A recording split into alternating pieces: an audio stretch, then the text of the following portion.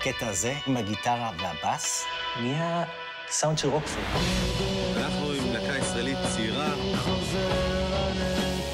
I think they're way better than radio. לפעמים אתה עוזב רגע לפני הדבר הזה. החלום המטורף הזה של רוקנרול זה השקר. אמרתי לו, אנחנו לא חוזרים לארץ. זה היה ברור שאם הוא יעשה מעשה כזה, אז אין דרך חזרה. אולי זה לא בשבילי כל הסיפור. יכול להיות שזה ישבור את כולם עכשיו. חושב, יש לי פחד במות.